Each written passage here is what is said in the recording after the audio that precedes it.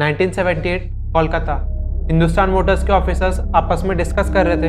Ambassador को 30 साल हो चुके थे और मार्केट को कुछ नया चाहिए था। इंडिया में कल्ट फॉलोइंग बढ़ रही थी। इंडिया को एक मॉडर्न कार चाहिए थी। ये ऑफिसर्स को समझ गया था कि अभी लाइनअप एनहांस करनी पड़ेगी। 1978 Vauxhall UK iconic F series का प्रोडक्शन बंद हो चुका था और उस टाइम पर सारे मैन्युफैक्चरर्स लीगली बाउंडेड थे to supply body parts and panels for up to five years after production and ten years of service और इसमें उन्हें कोई प्रॉब्लम भी नहीं था ये वो 1984 तक आसानी से कर सकते थे. But then in 1979